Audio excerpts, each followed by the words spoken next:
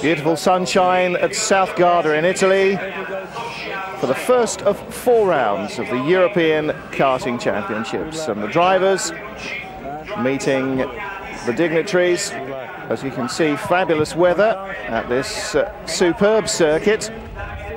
And during the course of the program, we'll be showing you both of the Formula A and both of the Super A finals. But first, a word from Ernst Buser. This is the opening of the 1997 uh, European Championship for Formula A and Formula Super A.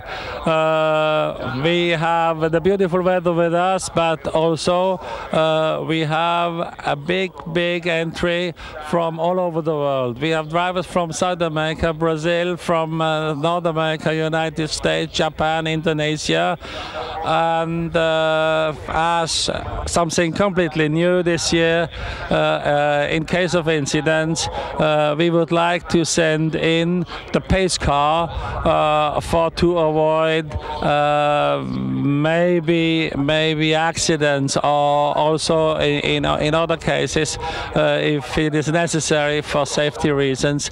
For the first time, we will use a pace car. But what is more important, we have to inform that now uh, China, the People's Republic of China, entered in karting, and we have a delegation here from China uh, uh, under the under the lead of Mr. Pan, Vice President of the Federation of uh, Automobile Sport in the People's Republic of China. China will start this year with the national championship, and already next year is planned the big international championship. But I think Mr. Pan could give you a few more informations. The championship will be will be uh, held in four uh, events. The first event will be at the, end of next July. The sec in Beijing. Uh, the second will be at the end of next uh, August in Shanghai, and the third at, at the end of next September in Hangzhou, and the last, the final, will be again uh, in Beijing at the end uh, of next October, under the direct inspection of Mr. Buza, CIK President. So four new international spec kart circuits. Uh, just 40 kilometers from downtown Beijing. Uh, and the uh, Shanghai circuit, close to the seaside uh, there. Hangzhou further down in Shanghai province. And Tianjin, which is again on the coast, just outside Beijing. So that's uh, an interesting prospect for international karters, possibly racing in Shanghai and in China in the future. But for the present, the warm-up lap on this South Garda circuit. And the front of the grid on pole position, British driver Thomas Sisley on 177, alongside him Antonio Garcia. And Dunlop tyres ruling the roost, the first six guys in qualifying, all on Dunlops before Vega or Bridgestone even get a look-see. Thomas Sisley will want to get himself a little bit better positioned at the start of this one. Now he's alongside Antonio Garcia. So the pace car pulls off, the 1200cc Yamaha engine legend. And into the lead goes Sisley. He's on a top cart. And like most of the fastest qualifiers with an Italsistem engine and Dunlop tyres. And the inevitable confusion and uh, congestion. 102, that's Johan Beno, and 121, James Courtney on his Tony kart, goodness me. And that was uh, Emeric Mercier on his Sodi kart, straight lining the circuit in a way that was never possibly going to uh, be of any good to him at all. So head down, Sisley leads it, Antonio Garcia now passes him and 140. Mike Kerner of the Netherlands gets by as well. Sisley now down to fourth place as Robert Bell on the Fullerton cart goes past him. So no Italians so far in the top order because in fifth position, or in that last shot at least, although he was looking over his shoulder and under threat, in fifth position was the Brazilian Andre Nicastro on 161. Still leading it though, Antonio Garcia. Despite his clearly Italianate name, he is a Frenchman. And down into second he goes. Once more to the four goes Mike Kerner. So the third new leader now. Kerner of the Netherlands. Impressive move up for him from his grid position. And right in the middle of then, fifth position, 149, Alban Martinet, he qualified eighth. So he's having a good opening sprint. And this half dozen breaking away from the rest of them. That uh, big bumping and boring session midway through the first couple of turns really held up the rest of the field. Almost all of them had to come pretty much to a stop. Robert Bell pushing hard in second place though. There's Bell on a Fullerton Rotax, again with the Dunlop tyres.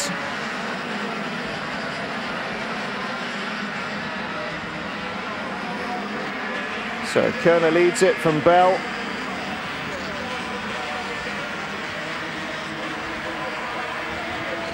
With the speed of these machines, hard to pick out who's third. 128, Antonio Garcia in third, still looking over his shoulder.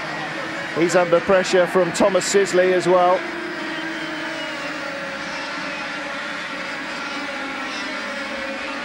Kerner with an Italcorp chassis, like the others in this group, Italsistem engine and Dunlop tyres. Sisley in fourth. Fifth still is Martinet. And sixth place, the Brazilian, Andre Nicastro. 144 leading the group behind them. And they're starting to pull up towards the leaders. Vitantonio Liuzzi leads that group. He's trying his best to pull them along with him. But the leaders at the moment edging away. So seventh place for the highest Italian at the moment, and that's quite something considering the overwhelming numbers of Italian drivers in the championship. But the Dutchman leads it. Mike Kerner leading from Antonio Garcia, and they really are starting to pull away. Garcia threatens, passes, touches. Bit of a wave of the hand in desperation from Kerner, but Garcia made his move and made it stick. There's the battle for third place. Currently held by Martinet, 149, and slipping right down the order, Robert Bell down to sixth place. And this quartet are being caught, 116 behind them. And he is now leading the seventh place train. That's Ryan Briscoe, the Australian. Change of place now among those guys. Andre Nicastro working his way to the front. Martinet behind him.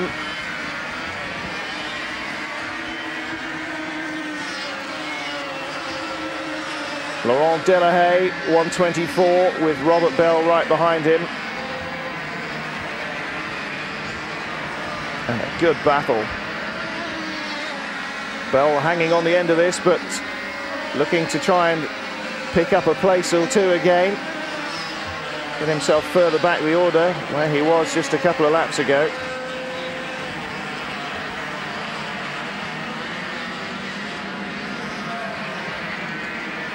So this is the third place battle. Fairly static at the moment.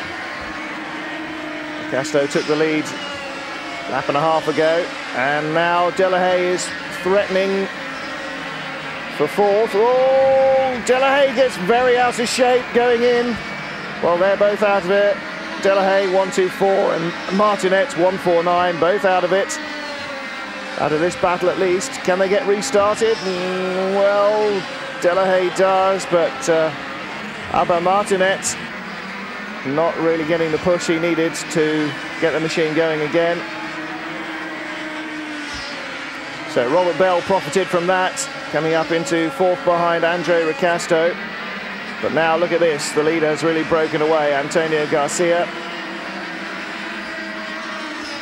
Mike Kerner now dropped to second and under pressure from Andre Nicastro. Fourth is Bell.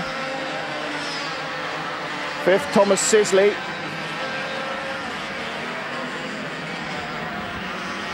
But this is the most convincing break and Antonio Garcia holds his lead to the checkered flag. Second for Kerner. Third for Nicastro. Fourth for Sisley. And it looked like fifth place at the line. No, Bell and Sisley, the positions reversed at the line. We'll be back with more in just a moment.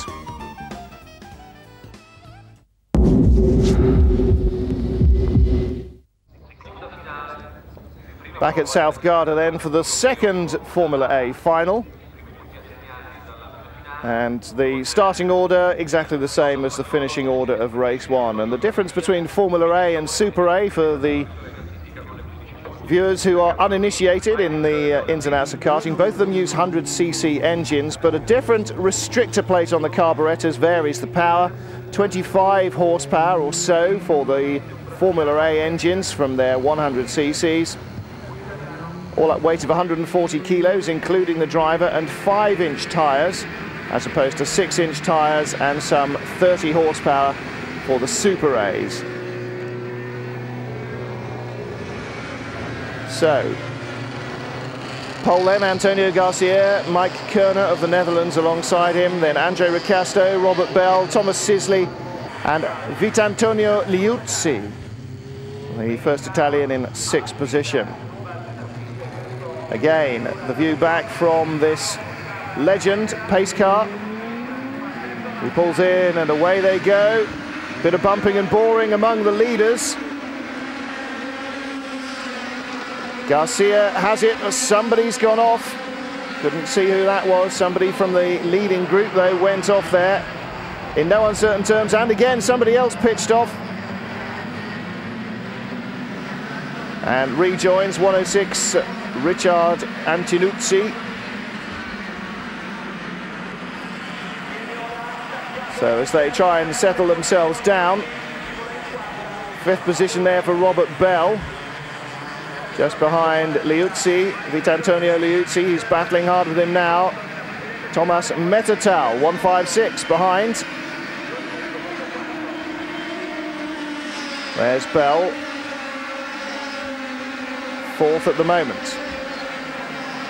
So let's see if the leaders spread out or break away at least the way they did the last time. There wasn't such a large midfield collision this time, and so it's much more of uh, a close group behind them. Garcia still leads it though. Some great battling behind them. Nicastro Brazilian chasing him hard in second place.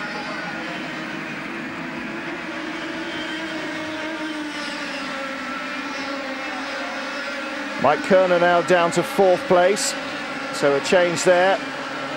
Looks as if Robert Bell has worked his way by. No, it's not Bell, in fact, it's Vitantonio Liuzzi, 144 up into third place. Kerner in fourth, which means Bell is still fifth. So that was a change for third, between third and fourth, as opposed to being between fifth and third, which isn't unheard of, but didn't happen that time out. And pressure once more from Nicastro. Andre Nicastro looking to take the lead. A very diminutive figure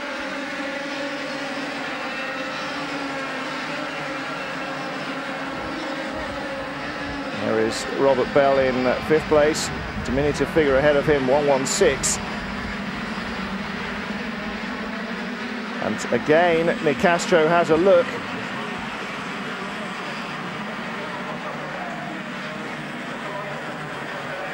But still holding on here, Antonio Garcia. And these two, despite Nicastro's efforts to get past, are starting to edge away a little.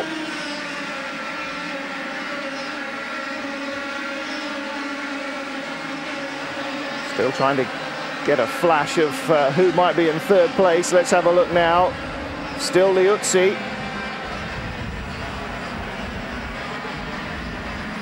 And who behind them? Kerner fourth. And it's the Australian Ryan Briscoe in fifth place. Ahead of Robert Bell in sixth. Ryan Briscoe appears to be about four foot nothing on the cart.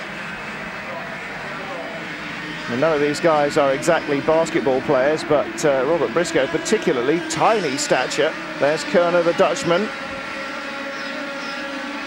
Briscoe behind him.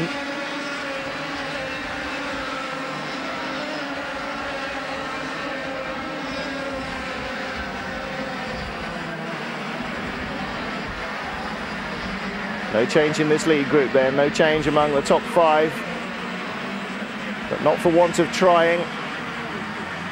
Andre Nicastro on his Rakama kart with Parilla power and again Dunlop engine, uh, Dunlop tyres, Parilla engine, Dunlop tyres, like all this league group. Only the third man, Vitantonio Liuzzi, has got uh, Vegas on his CRG.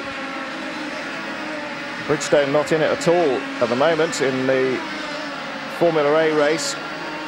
Certainly not in these two finals that we're seeing here from Lake Garda. Tyres, one of the most vital components of the driver's armoury, and there is a massive battle as ever between the rival tyre manufacturers. And just as we get on to talking about something else, the lead changes. Andre Nicastro grabs the lead. And it looks as though, well, there may have been a challenge on there for a moment for second place. There is, and successfully too. Vitantonio Liuzzi goes into second. It's in the space of a handful of corners. First to third for Antonio Garcia. Mike Kerner now, I'm sure, fancies his chances of having a go at getting past the erstwhile leader as well. So too will Ryan Briscoe. Robert Bell appears to have dropped off the back of this quintet though. No sign of him there at the moment. He was very close behind.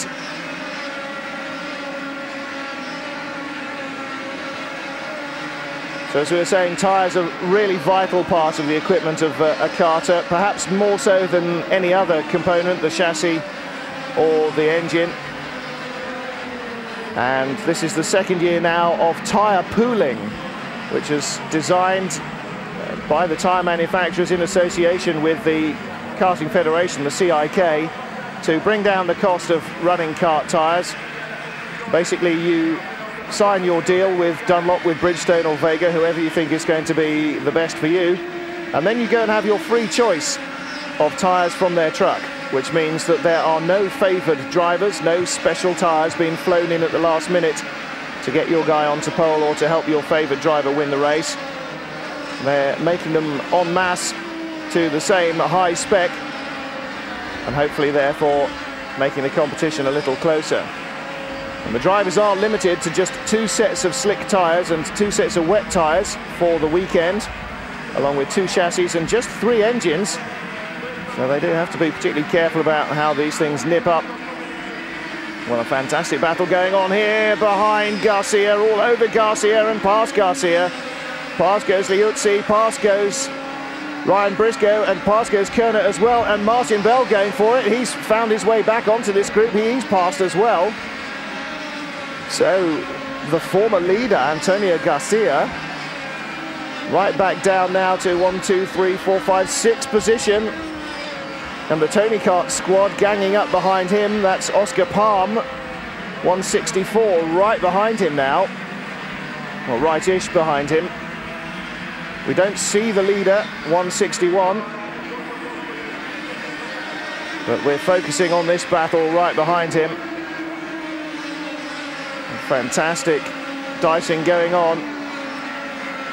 Bell just moved up past Kerner into what is now fourth place. And there is Andre Nicastro. Started third now, leading this very comfortably, and this massive battle behind is helping him no end. Of course, they all want to move up in position, but they're letting the leader get away. Vitantonio Liuzzi leads it at the moment. He's second. Third is the Australian, Ryan Briscoe. Fourth is the British driver, Robert Bell. Oh, he's pushing hard for third, though. He really is fired up. Mike Kerner, fourth, down to fifth, because up into fourth goes Antonio Garcia. Perhaps the cart is coming back to him now. He's had a little breather and really getting his head down. Chasing Bell, Kerner right behind him. Let's see, yes, those Tony, Tony carts are getting closer. Oscar Palm in eighth position, is it now, on the back of this group?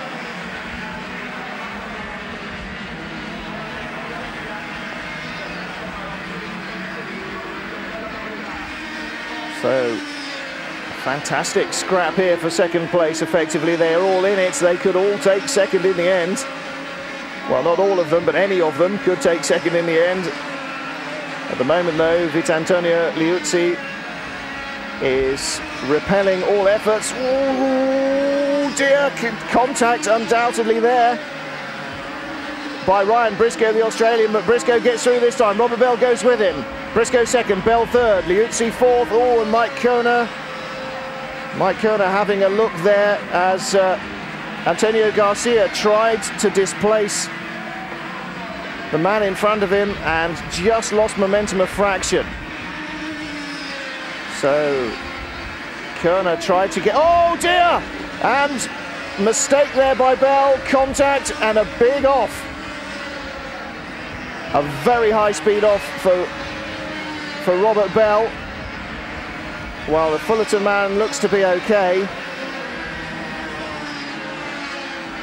But that was that was a quickie. Vitantonio Liuzzi still in second place, and we have lost Ryan Briscoe from this group. They made contact.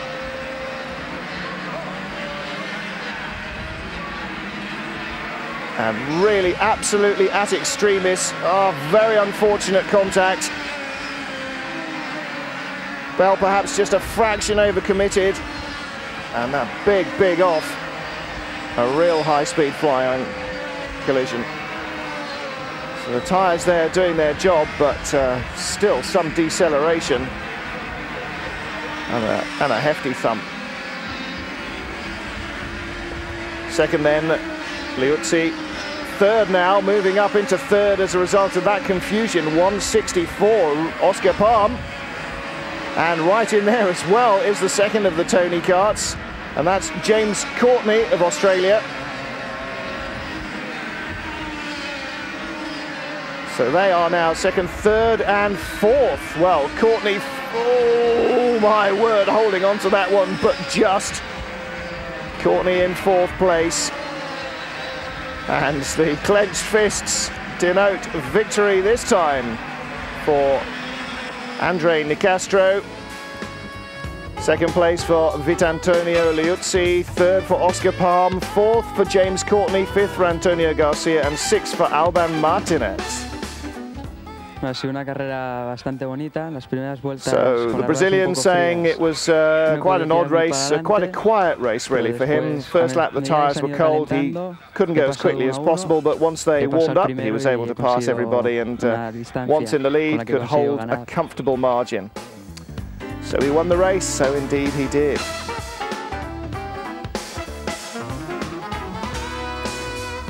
So that's the way they finished then race two of the Formula A, the second final.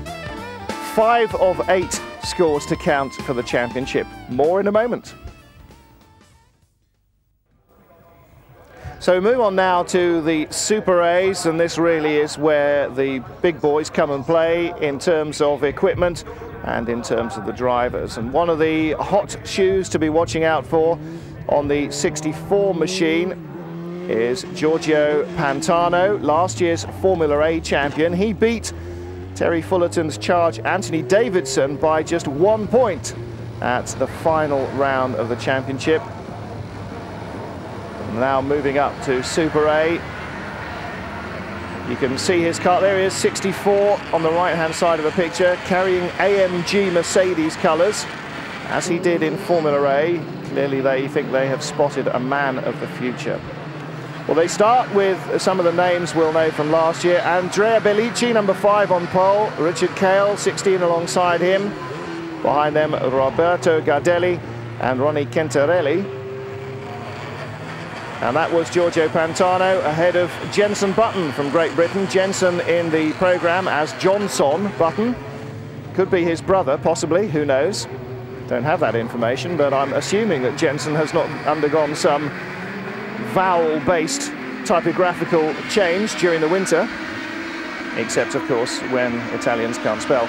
Into the lead then goes Andrea Belicchi. Right behind him, second place on the grid man, Richard Cale. So Belicchi on his PCR Bridgestone tyres. In this big field, lots of bumping and boring still as they try and settle down. Third is 41, Roberto Gardelli.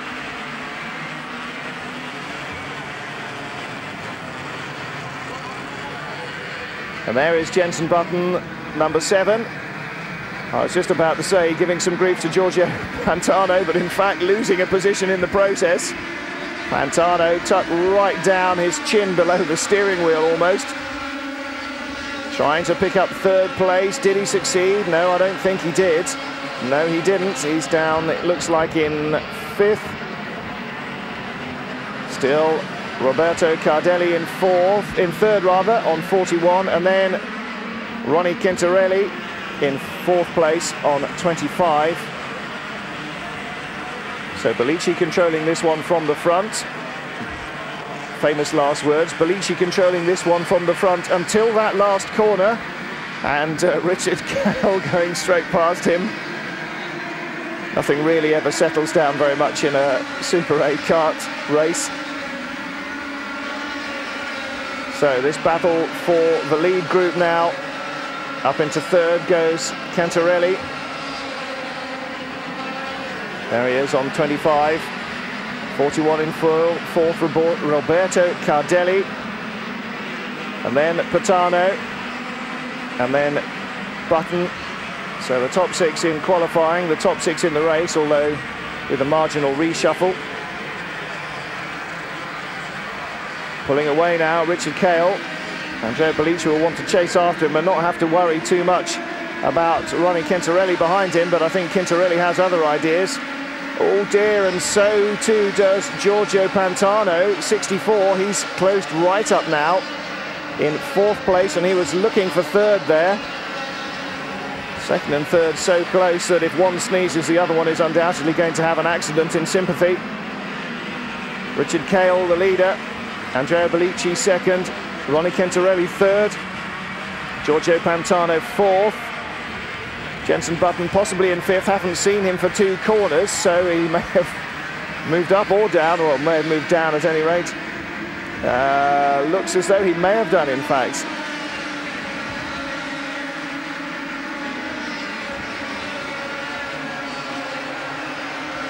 Forty-one moving up.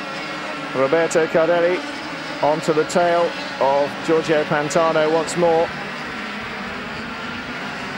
And behind him, now we get a clear shot of them, David Forè, long-time Tony Kart exponent. Little wave there from Pantano. Thanks very much for that punt up the backside, very probably. He was just saying there to Roberto Cardelli. David Forè, then Jenson Button, which makes him seventh-ish, probably at this stage.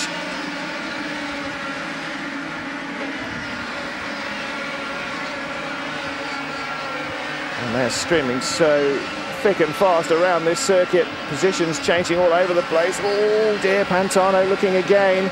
This time at the back of Andrea Belicchi, because Belicchi is down to third. And I thought perhaps Ronnie Quintarelli had overcooked it there a fraction, but no, he held on. Just getting it slightly sideways. Whoa dear, and really edged out there the uh, 41 car, Roberto Cardelli, with his very Nigel Mansell-esque helmet. Quite strange in an Italian. Clearly he was a bit of a fan of our Nige at Ferrari, Il Leone.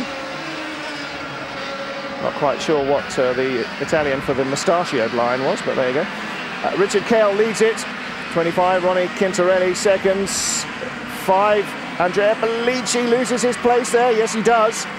Giorgio Pantano, it's just on that change of shot as they go into that tight left-hander. They always slip up there. I'm going to have to watch that more carefully. And then Jenson Button now chasing down 32, Roberto Toninelli. So it's all changed in front of Jenson Button. They're all having a go at getting in front of him. Seems to work his way back past most of them. First, second, third, fourth, still all very close. Leader not getting away.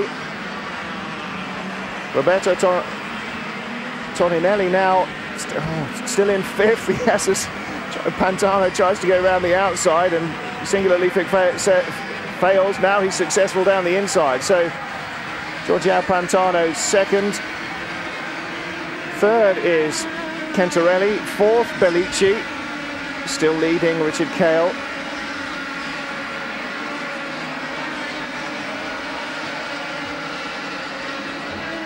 At the moment, at least. Cale leading it. There's Belicchi on five. Who's behind him? Can't tell, can't tell. 32, it's still Toninelli. And Jenson Button still behind him? Think so. Certainly had the looks of it, yes it was. So Jenson Button still in sixth position. Which is in fact where he qualified, so he'll want to make something up on that. Quite a lanky frame on the young man. Certainly compared to some of these guys. Pantano's not exactly uh, a tall guy either, is he? Very small indeed, even on these machines. Anybody who can get their eyebrows below the steering wheel when they're tucked down on a kart is not tall. Ideal single-seater material, presumably. Richard Cale leads it. Pantano second, still Quintarelli third, still... Mm, well, Quintarelli not third now, Belicchi third, Quintarelli fourth-ish, sort of. Yes, he is, holds on from Toninelli on 32. Jenson Button gets it's stuck in the middle of it. Well, doesn't get past any of them. Gets very, very stuck in there, though. And David Forè now has uh, somewhat of a renaissance. Coming back into this, Button has a go down the inside, gets it. Picks up, what's that? Second, third, fourth, fifth, is that? Fourth, fifth. Yes, probably one of those. Good move anyway. That is fifth position, I can count them now because it's still Kale from Pantano. And then Belicchi, Quintarelli, Button. There they are. Close as that. Where's this? This is well down the order.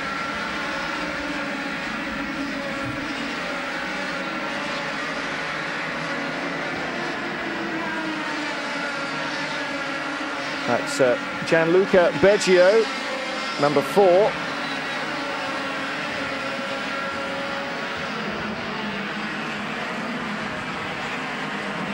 Well, he's worked his way in here somehow. Not quite sure. This is uh, Richard Cale leading them.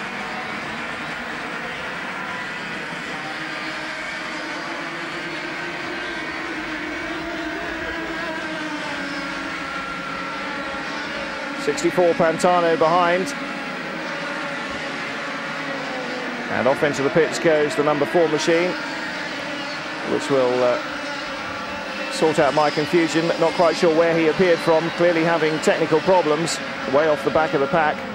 Pantano now really pushing hard.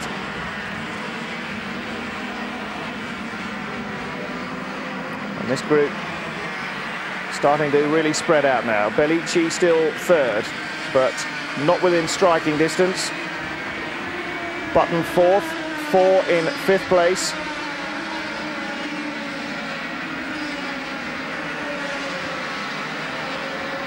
The number one plate, Johnny Misiewicz, last year's Super A winner and World Championship winner.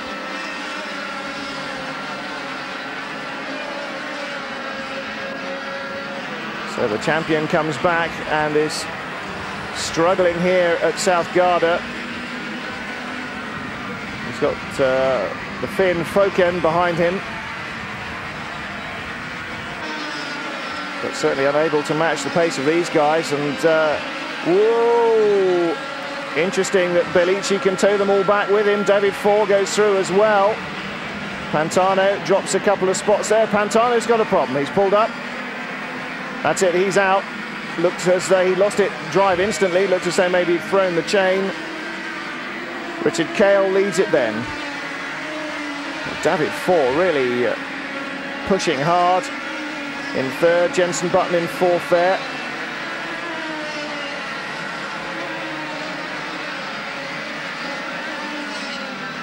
Then in this fifth place battle. And then there is Misiewicz.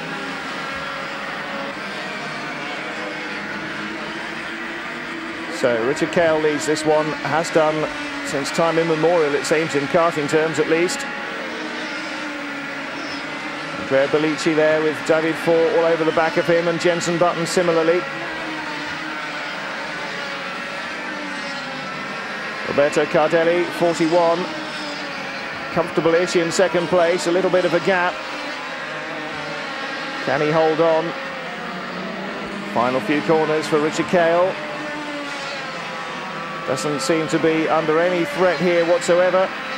And a checkered flag. Victory from Roberto Cardelli, Andrea Belicchi, David Forè, and Jenson Button. So uh, Giuseppe Palmieri in sixth place, the second heat after this. So here we go for the second race of the Super A's South Garda in Italy. And uh, just a point of interest, starting 13th on the grid, the reigning champion, Johnny Misiewicz. That's where he finished in race one. So he's clearly having trouble finding the ultimate pace. Pole position man will be Richard Kail from uh, Roberto Cardelli. That's the way they finished at the end of the first race. So they all get their starts. Away they go.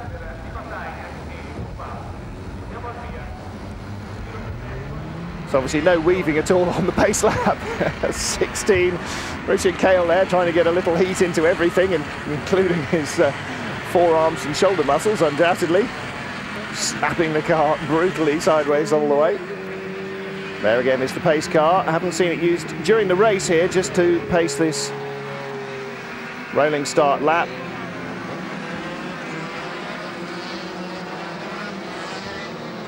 My, it's smoky out there. So, away they go then.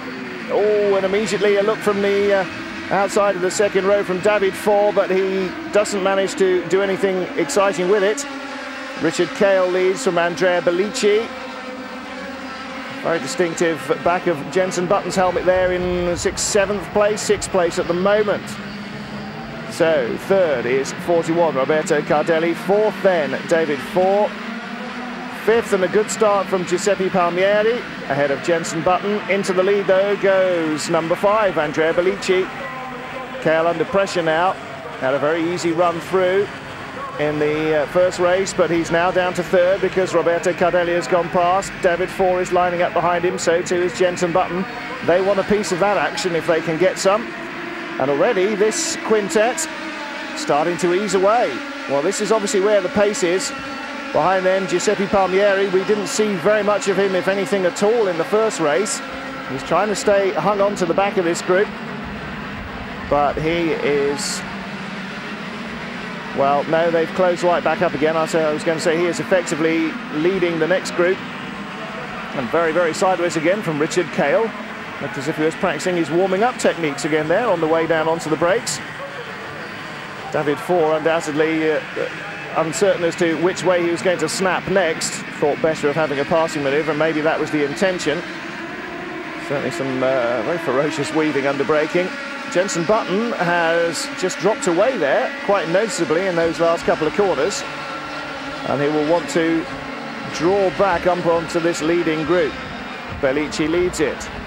Cardelli in second. So the Italians starting to come to the fore in Super A, at least if they're not in Formula A, they've got to win something. Richard Kael, the Swede, in third. Then David Forè, the French, uh, uh, the Italian rather, with the French name. And then Jenson Button out of it. Well, we saw him starting late. Uh, and he's definitely out of it now, number 60. I'd tell you who he was, but I daren't take my eyes off the screen because it's all action at the front again. David Forè really pushing hard for third place. And this battle for the lead right ahead again. Roberto Cardelli. Now, you see what I mean about the Nigel Mansell helmet? That is as close a replica as you'd want to get without it actually saying Nigel Mansell on the front.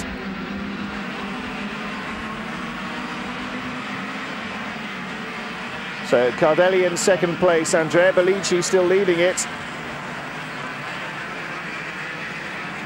Third place, the race one winner, Richard Kael. Jenson Button tucking his chin down into his chest to try and pick up a bit of speed.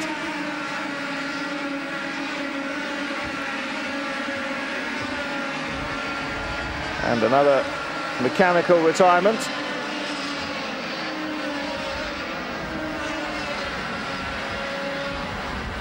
So these five change in sixth place, change for third. Yes, there is. David Forè goes up into third. Oh, very wide. Jenson Button ran very wide indeed. I thought for a moment he was going, well, he's going to challenge anyway, but now he's in trouble. And yet another change for sixth place behind him, and up into sixth goes 32, Roberto Toninelli. Now, he featured quite early in race one. Jenson Button now right behind Richard Kael. Back onto his back bumper again. Toninelli similarly placed behind Button. And who's behind them? Just trying to get it. Yes, uh, Daniele Rossi. Trying to get a clean look at the front of the kart on the straight. It's the only chance of identifying these guys. They flash past so fast past the camera. Button loses a place. I think Button's going to lose too because Rossi looked as though he might be going past as well. So out front a change as well. And Belicchi in second place looking to take the lead back, but Roberto Cardelli now leading this race. First time in the lead for him. Real fight up through the field in race one to get himself into a good finishing position, a good starting position for this race, and now he's leading it. David Forè in third place. Now these three are starting to make a break.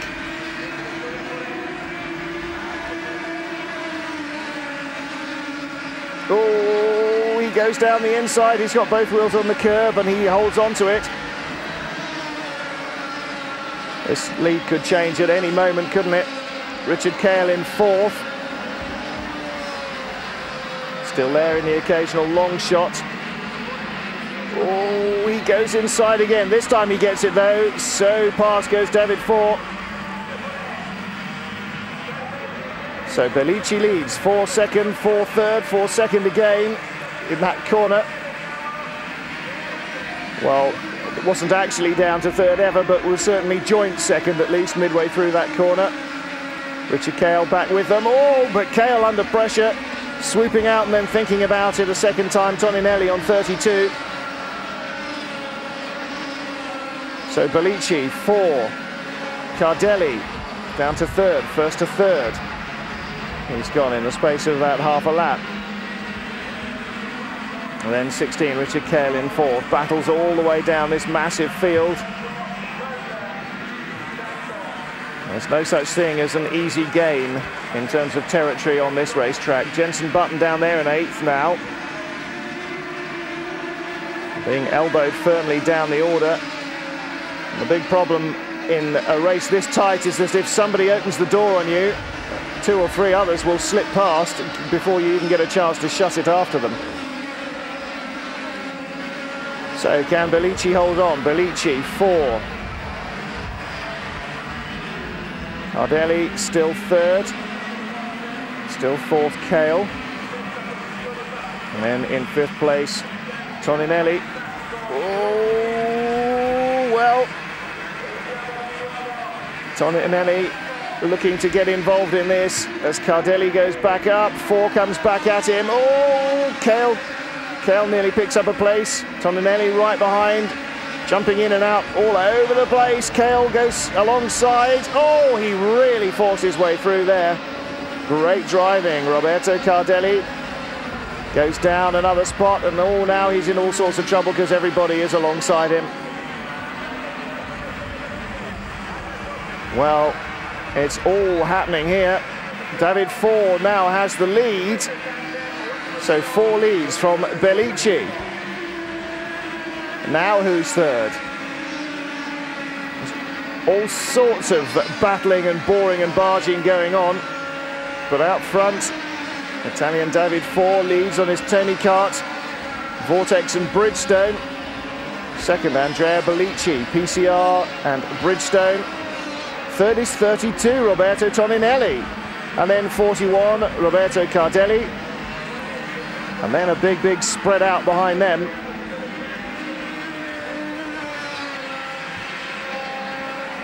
So, checkered flag for David Forè, winning it by a fraction from Andrea Belicchi, then Roberto Toninelli, Roberto Cardelli, Massimiliano Orselli, Daniele Rossi, and then Johnny Misiewicz in seventh from 13th on the grid. Let's hear from David Forè. I am very, I am very happy for the second final. I have a win uh, in the in the in the my track because I live in Brescia, and uh, I am very happy for me and uh, for the Tony Kart team because. Uh, uh, we have used one new chassis, and uh, in the in the first race important of this year we have a win. And I make a congratulation to Mr. Robazzi and uh, to Martin Koene for the for the engine. And uh, I say only I am very happy, and uh, I am sure of this year uh, we have the possibility for to win to win everything. And I I know I I am very happy. Okay. Thank you. Thank you. Very happy and indeed topping the points table 24 to Andrea Belicchi's 22 and Roberto Cardelli's 21. And that's the way it was at the South Garda. Again in the Super Ace, five of eight scores to count and we'll bring you all the action from the European Karting Championships throughout the season here on Eurosport. Stay with us for more action after the break. And until the next time, it's Martin Haven wishing you a fond farewell. Bye-bye.